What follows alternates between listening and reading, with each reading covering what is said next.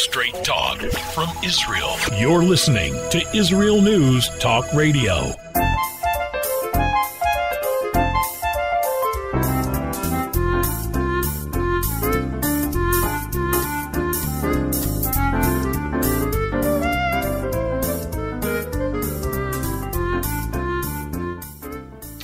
Good morning, good morning. My name is Andrea Simantov, and you are listening to Pull Up a Chair on IsraelNewsTalkRadio.com, the only place where your computer should be.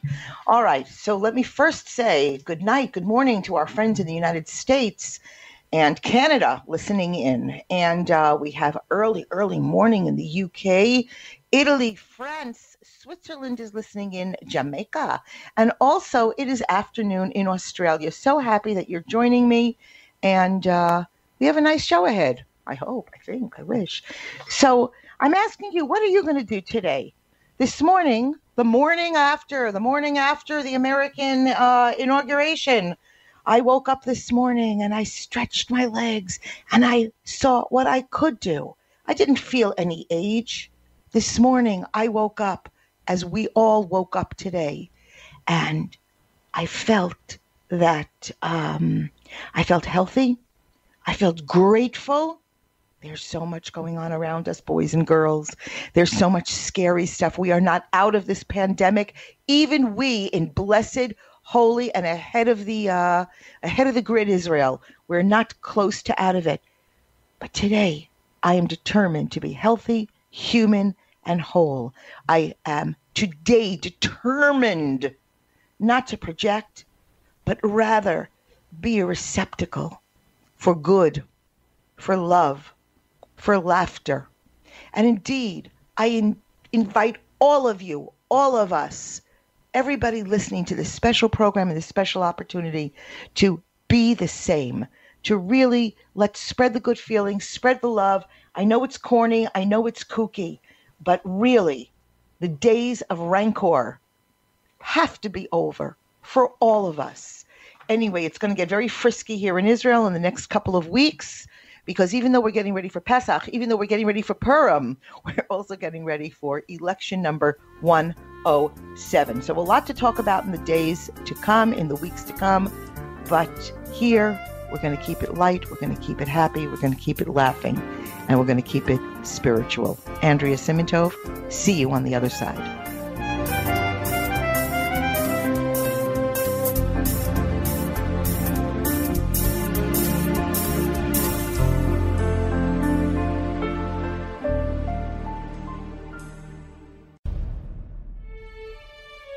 Israel is located in one of the most volatile areas in the world. Israel is an island of stability in a sea of war and unrest. In the midst of this turmoil, Israel stands out as a beacon of order and human progress. Each week we update you on what's happening in this, the Jewish state, a true light unto the nations. This is Jay Shapiro. Join me every Thursday on Israel News Talk Radio.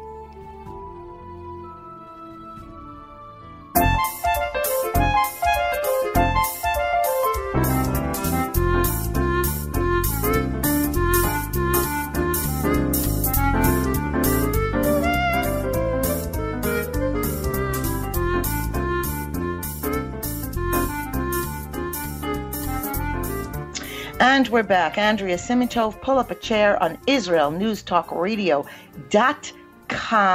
The chat room is open, so let me know that you're listening in. Um, just drop me a note. Hey, Andrea, I'm here.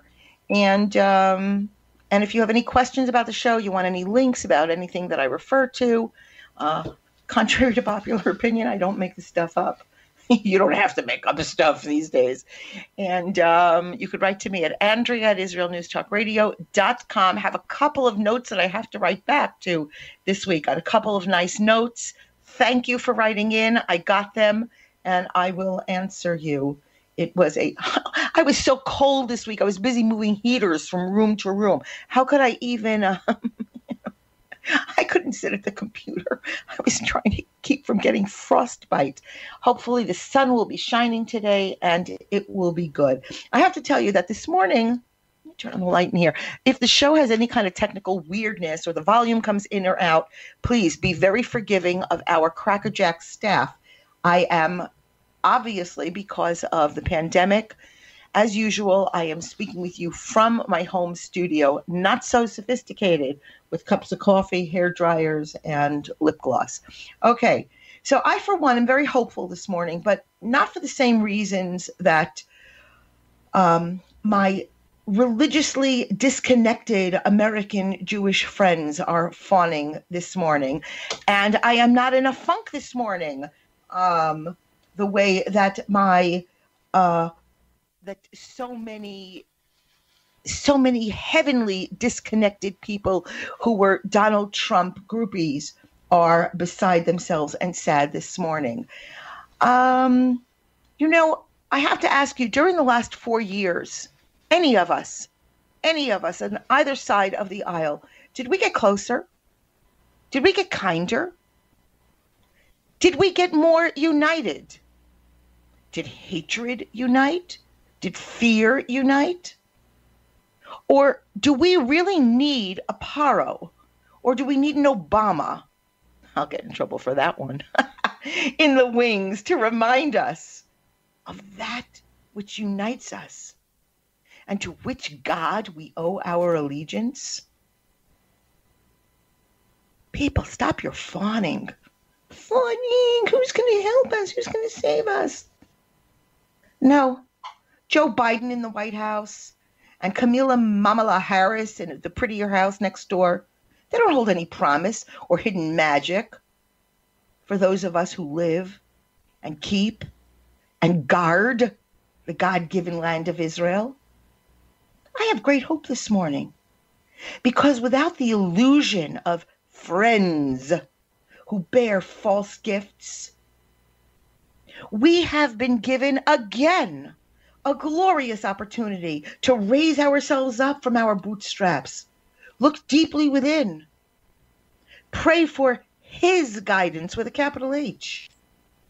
Pray for His mercy in the upcoming Israeli elections. And pray that we're bestowed a strong leader, a fearless Zionist who will not kowtow to the false gods of the West. A leader who will be far less loved than he or she is respected and feared. Surprise, surprise, boys and girls, America is not Israel. Their neighbor, Canada, is not chomping at the bit to annihilate the United States. Uh, we don't have those neighbors. And so I say to all of my deeply disappointed Donald Trump supporting friends, perhaps your love fest was a little bit smug and rife with amnesia the faith you were appointed with as you emerged from your mother's respective wombs was a faith that you and all of us were born in knowing, a faith that society, Wall Street, Hollywood, and the United Nations has worked dog- doggedly toward ensuring that you, we, me, separate from our God in heaven. I urge you today to take back your faith. Take back your autonomy. Take back your divine status as both a reflection and an emissary of heaven's labor and God's full faith in your ability to be the change that the world longs for each and every day in which we open our eyes and face and embrace the potential of this partnership. You know, this week's Parsha is all about all about learning, all about studying. Uh, we're going to talk. The name of the parsha this week is Bo. Bo, come. I say to my dog, Boeda, come here. Come. Bo, bo, bo. Okay. See, I'm playing with my own mic here and it's going up and down. So if I go in and out, just write me a note. Andrew, what brilliance did you just spew it? And just tell me what time. Um, you know, it's all about the prerequisite of parental teaching, not putting our faith in false gods who will take over the labors of what we're supposed to do. It's for this reason that at the end of the statement, urging parents to tell their children about God's miracles in Egypt, the Torah clearly posits Vida'atem so that you, parents, shall know that, quote, I am the Lord. One would think that parents would instruct their children that they, the children, should know God's greatness. The reason for vida'atem simply states that parents must learn first before they impart knowledge to their offspring. Jewish values. Jewish values do not change with whomever sits in the White House. They do not change with whoever is sitting in a comfy chair on Balfour Street in Jerusalem. They do not change which, with whichever jerk holds the reins of the United Nations this month. All right. Before I get on other tangents, let's get to some fun stuff. Um, we're going to talk about several lessons in this week about education, about chinuch. Chinuch is the Jewish word for education. Okie doke.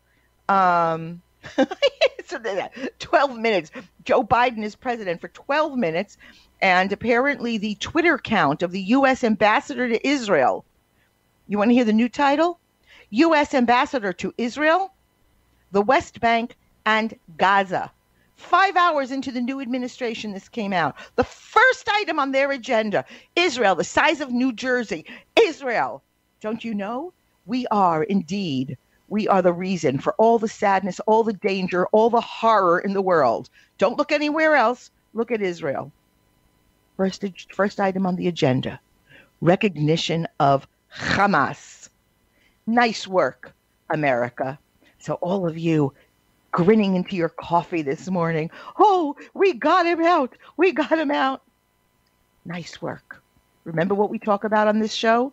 We talk about all the time only 20% of the Jews merited leaving Egypt.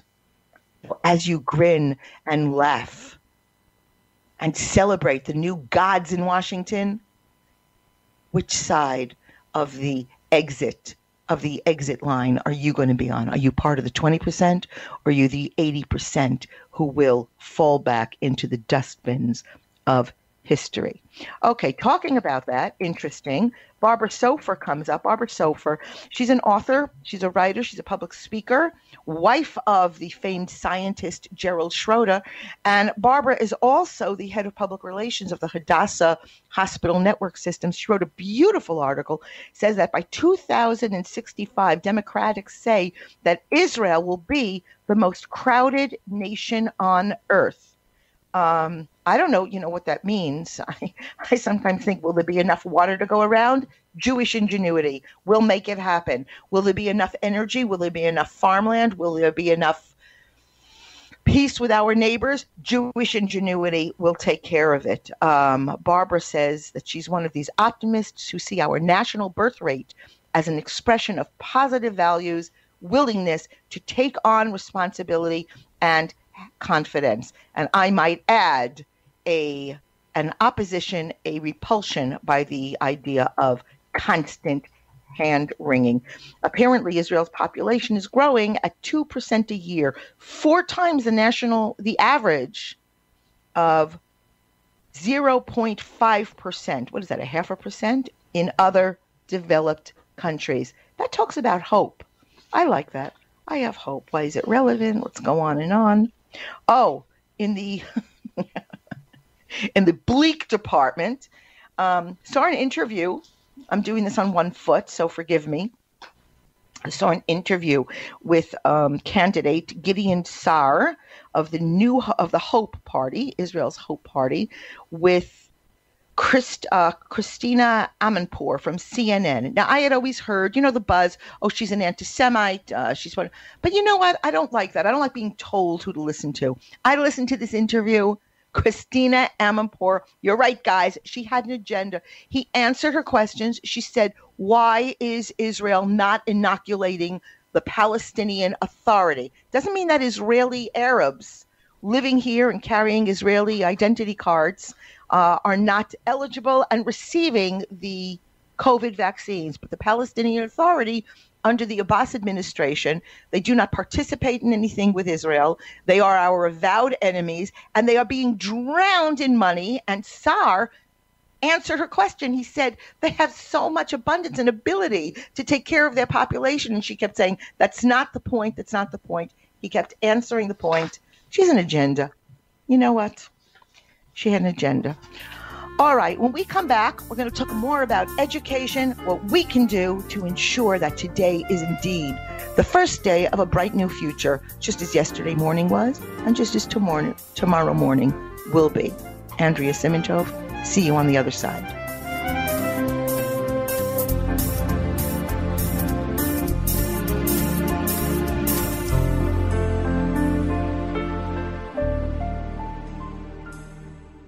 The Tamar Yona Show. Tamar? She's sassy. She's smart. She's funny. But she's also a real Jewish mother. Hi, everybody. I'm Tamar Yona. And yes, I can be all of those things, but at Israel News Talk Radio, I'm here to bring you the news stories and guests that you may not hear anywhere else. Join me live on air Sundays, Mondays, and Tuesdays for the most unique and bold talk radio in Israel. The Tamar Yona Show. Shalom, I'm Leah Aharoni. Join me on my show, News from the Torah. Each Sunday, we'll use the weekly Torah portion as a prism for understanding the news today. Listen to News from the Torah to gain clarity about the times we're living in and to understand your own spiritual path in the process. News from the Torah every Sunday on Israel News Talk Radio.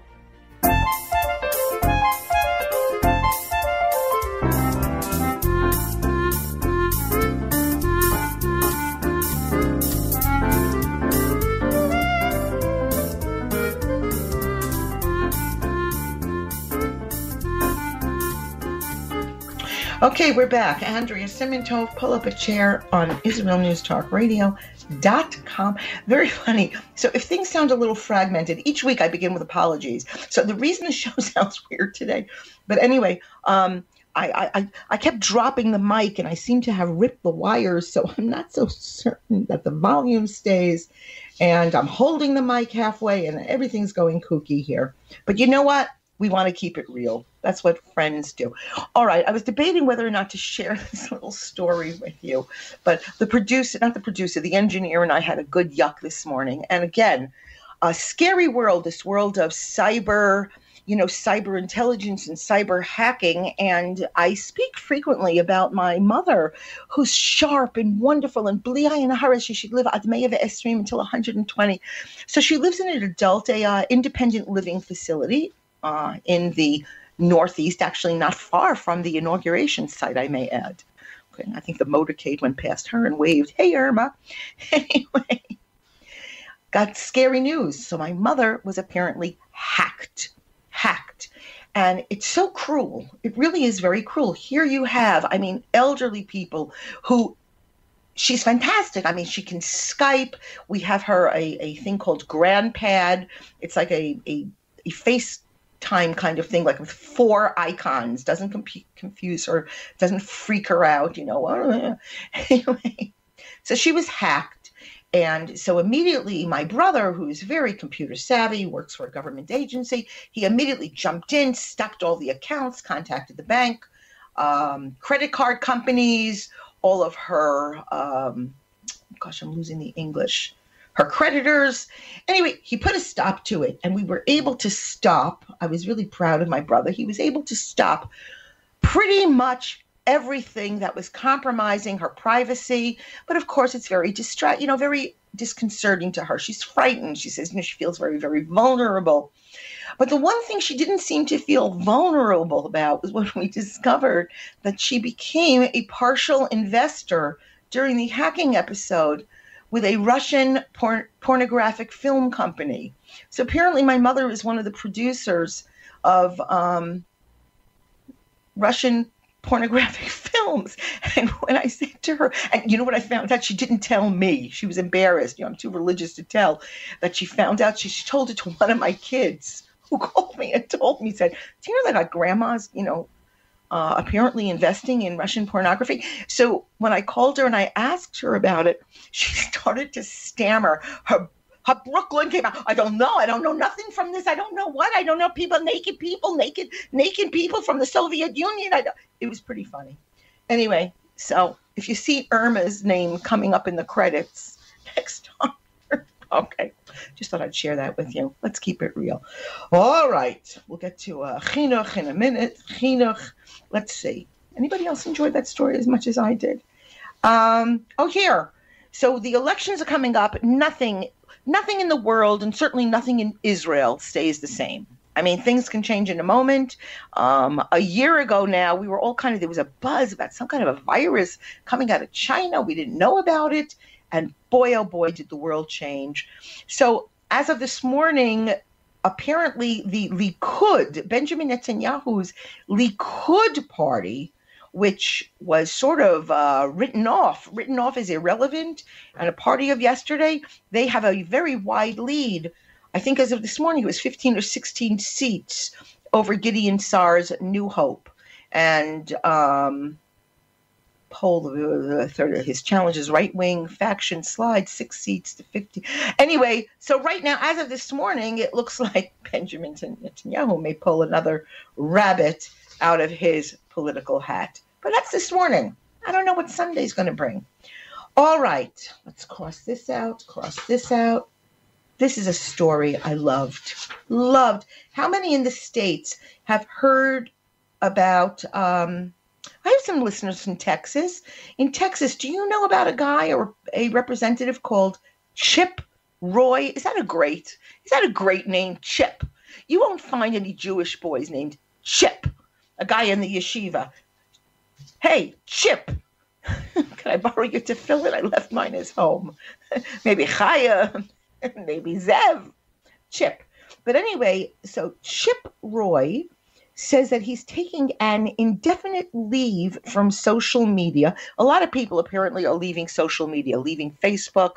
Uh, my son says to me that I can't reach him on WhatsApp anymore, but it's not really true. He seems to answer all of my uh, texts. But he's taking Chip Roy, I got to say it again, Chip is taking an indefinite leave from social media in part because he saw how Jews in Israel celebrated their Sabbath. He made this announcement in a Wall Street Journal op ed on January 11th. I love this story. And that he said, I mean, obviously, we're obviously talking about, you know, a serious Christian here because, you know, the language sort of leads me to believe. But he says, we were inspired by seeing our Jewish brethren in Israel celebrate Shabbat which reminded us of the Sundays we grew up with in the 1970s and 80s, he writes. Ever since, one seventh of our time has been immeasurably better, and Sunday dinner is the highlight of our week. I'm doing so, he goes on, not to make a political statement, but in the hope that America can return to kitchen tables, churches, taverns, coffee shops, dance halls. It's a Texas thing whatever it takes to look others in the eye and rebuild our communities and humanity. I really liked this story because I like anything that's consistent with Torah. I really do. And I like Chip. Uh, and we're going to talk a little bit more as we get to the Devar Torah section. We're going to talk about parental responsibility, talking about what we can do. You know, the table has traditionally been in in there's a reason that in our synagogues a, a, a torah observant an orthodox synagogue the bima is not up ahead in front of the ark like a piece of theater, but rather it's smack dab in the middle of the synagogue, surrounded by pews, surrounded by chairs, to replicate a table and a mizbeach, an altar and if we look at our tables, our kitchen tables, as altars, well, we certainly can't load them with gossip magazines and computers. They have to be laden with holy foods and love and kosher talk and discussions that portend hope and rootedness. So I really like Chip. Chip, when you come back to Israel, when we no longer have to be far apart from socially distant from one another, you are invited to Ronnie and Andrea's house. Okay. Oh, yeah. Here, Chip closes up and he says, I love saying the name. if I had another child, if I were actually physically able, biologically able to have another child, just I think I would name him Chip, even if it were a girl. All right, of all God's earthly creations, according to Chip Roy, man is the only one with rational speech. But we used to have a better way to communicate with each other. Let us dine together. Let us look each other in the eye. Let us sit down and talk again. I think that Chip wrote Pull Up a Chair with Andrea Simantov. Okay, another piece of fun, interesting, let's talk about it news. The IDF, the Israel Defense Forces, Sahal, sees a record number of Arab conscripts more and more Arab boys and girls are joining the Israel Defense Force. Um, I'm trying to think where I actually got this article. Maybe Times of Israel? Okay, let's not say it because I don't know. Uh, with a thousand new soldiers from Israel's largest minority, it's more than double than that of the recent years. Arab troops are serving in Be Still My Heart combat roles in prominent brigades. The Army says it has also had inquiries from Syria and Lebanon. Does that mean that they want to join the army? More than a thousand Israeli Arabs have volunteered to serve um, as conscripts or to be in the reserve. Mostly, oh, so this happened mostly after the coronavirus began in March. The number of conscripts in the Arab sector is more than twice in previous year, and it includes Muslims from areas such as Taibe, Kolansua, and East Jerusalem. I don't think the ones in my neighborhood are joining the army, but I may be wrong. Bedouin, Bedouinim from the Galil and Christian Arabs in the north. This is very interesting. Um, it's something to be to keep our eyes on. I'm a little bit of a cynic. I worry, but um, you know, but as a result, because Israeli army always steps up, steps up. I mean, even Lahavdil, I mean, the separate, not to soldiers who have certain uh, disabilities, whether they be physical, emotional, mental. There's places for so many different. There's no longer a pasteurized version of the Israeli army. So as a result, the army has opened a recruitment bureau, unbelievable, in the Galil, where volunteers can study and improve their Hebrew. Um, the branch is going to recruit up to 2,500 Arabs a year, and the program is called Ambassadors in Uniform. What do you think about that? I think it's kind of interesting. Hmm. All right, so before we go, let me just cross that out here. The show is called Pull Up a Chair. That's what we do. We pull up a chair. I like this stuff. I told you my mother in pornography. Okay, you had to hear the voice. I didn't. I didn't. I didn't know. I mean, who knew? Okay, when we come back, we're going to talk about what we can do. Not what we could at least do, but what we can do to master the world, impose morality, impose happiness, impose joy. And as we emerge from this dark era of COVID, and as we crawl out, the roles we can play. See you on the other side.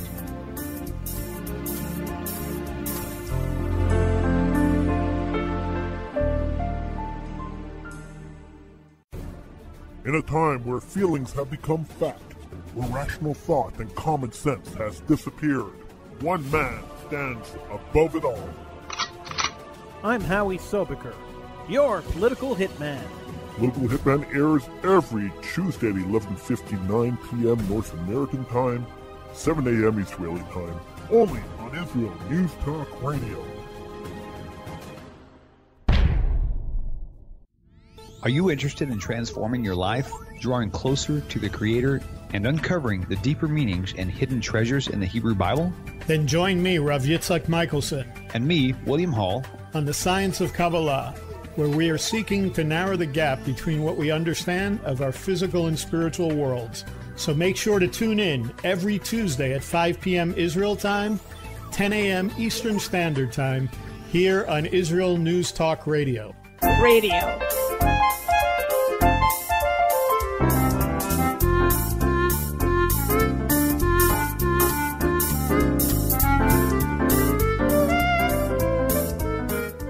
Okay, my name is Andrea Simantov. Pull up a chair. I'm just I'm just looking at my Facebook feed and seeing the Jewish fawning. You're so excited.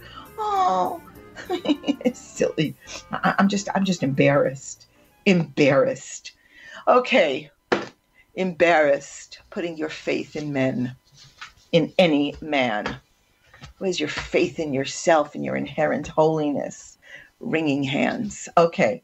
Um, before, oh, before we even get into this, I'm scared that I'm not going to get to say this, so I'm going to say it right now. At some point this morning, make yourself a note, make a dot on your hand, a, a piece of nail polish, turn your watch inside out, and remind yourself it's Thursday morning here in Israel, it's Thursday afternoon in Australia. Um, remind yourself how will you reach out to another person to spread the joy, to spread the love, to spread the holiness? Who will you invite to your Sabbath table, socially distant? Who will you make a phone call to? To whom will you send some flowers or a note? If all of us, if all of us I did this actually at the beginning of the the when I three years ago when I started the show. I made a joke and I would say to all seven people who are listening in today, and somebody was pretty PO'd at me.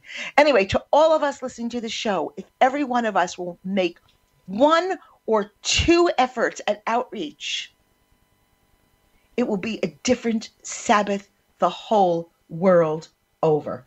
Okay. Um,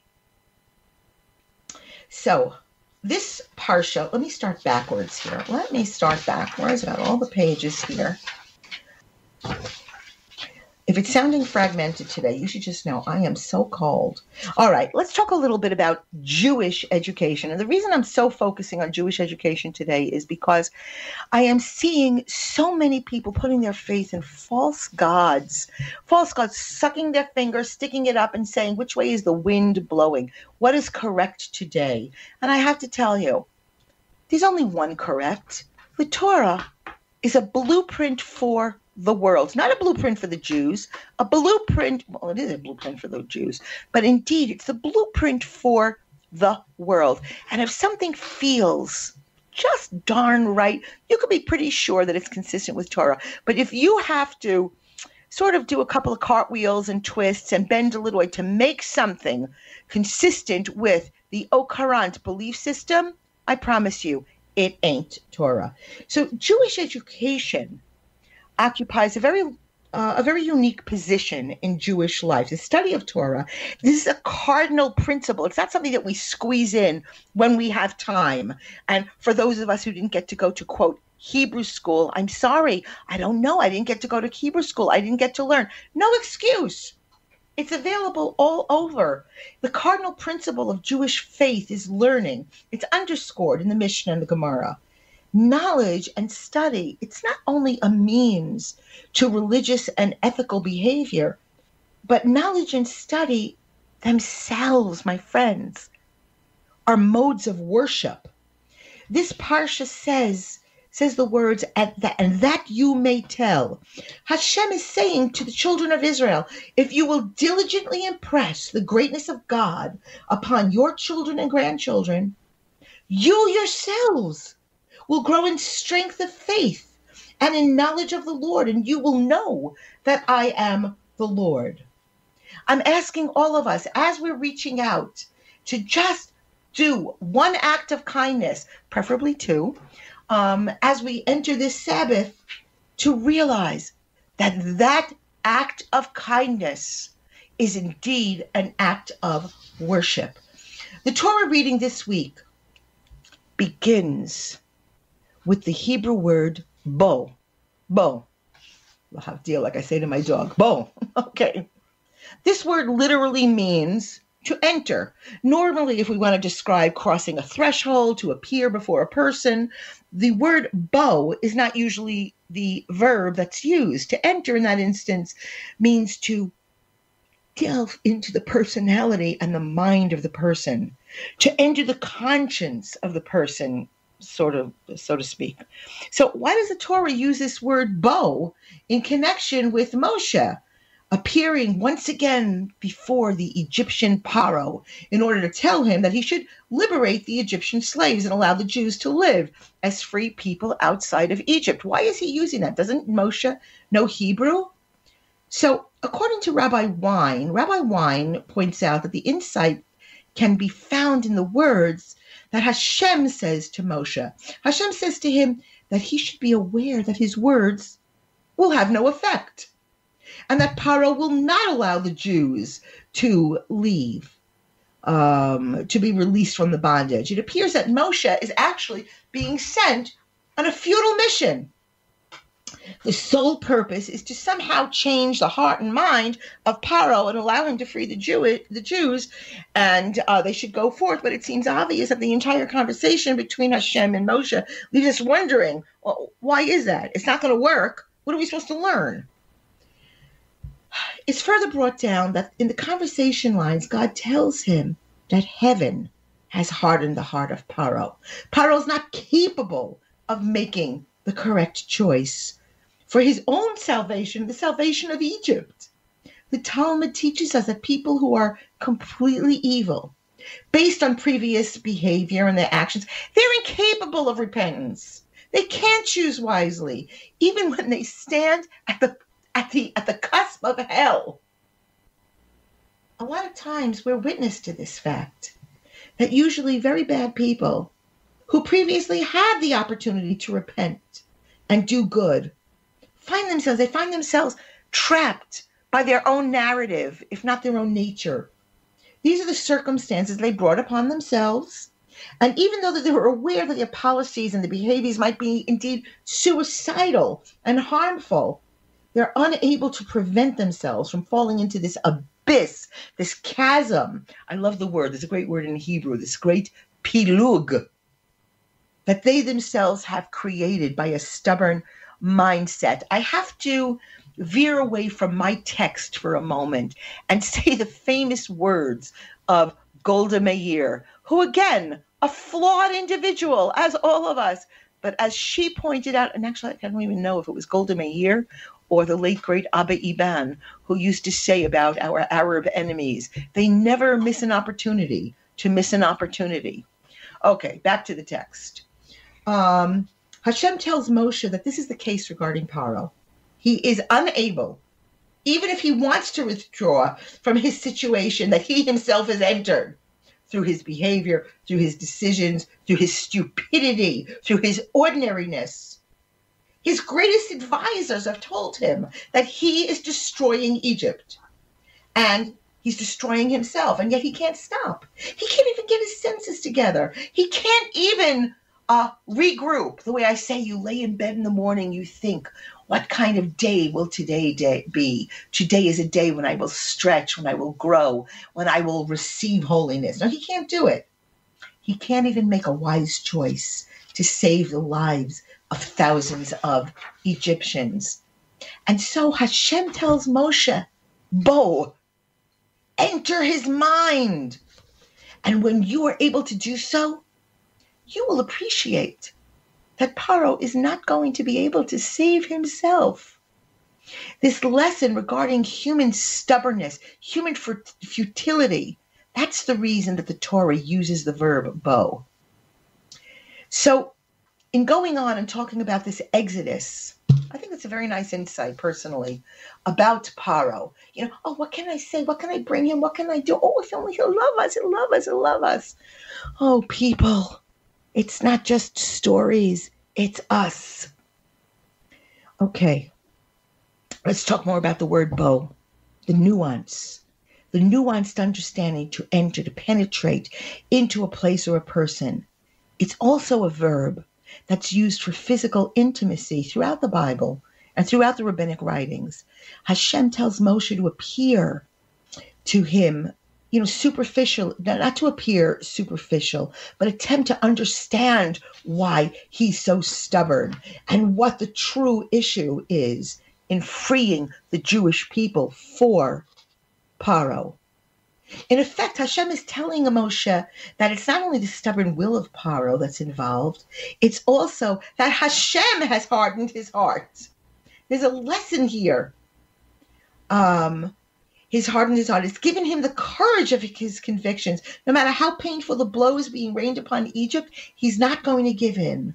There's a lot to be said for understanding the point of view of one's enemy. Only then can one take correct defensive measures. By entering the mindset of those who oppose and hate us, we gain an understanding as to how to counteract diseased thoughts, cursed minds. Don't sit and ascribe rationale and logic to those who are looking to destroy us. We have to enter their mindset and understand that the greatness of God is illustrated through hard hearts and stubborn wills of the Egyptian Paro. So even though Moshe shows disappointment that he's unable to convict, uh, convince Paro, um, we realize it's not the end of the story. I must share this before we go. Tefillin, phylacteries. I came across this. The tefillin, those straps that wrap around the hand and arm, they contain a single piece of parchment with all four passages of the Torah written on it, while the tefillin of the head has four separate pieces of parchment, each in its own compartment. A lot of sources tell us that when it comes to ideas symbolized by the tefillin, there can be many, many parts, with each person um, thinking as he sees fit. When it comes to action, as symbolized by the tefillin of the hand, division is a sin. Our actions must be united. Shabbat Shalom, something to think about.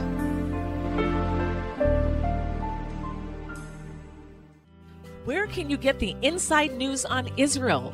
At Israel News Talk Radio, we're dedicated to sharing Israel's inside story with the world by providing our listeners with news on Israeli politics, current affairs, and Israeli Jewish culture.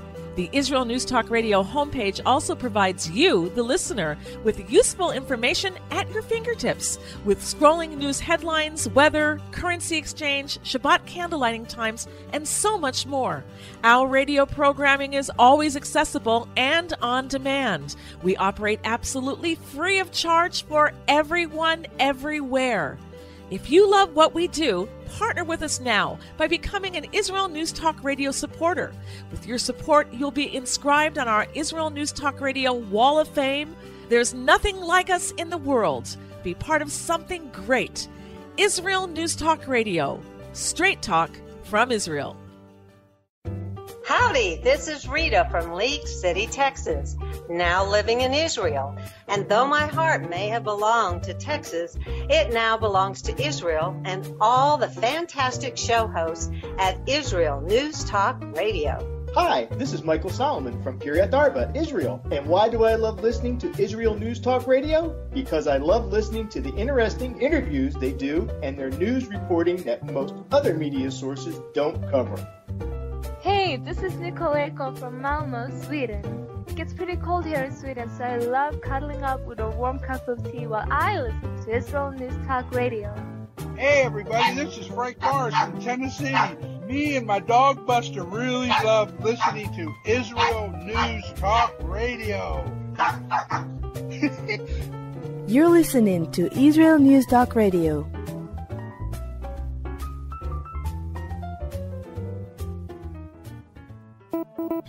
Opinion, and more.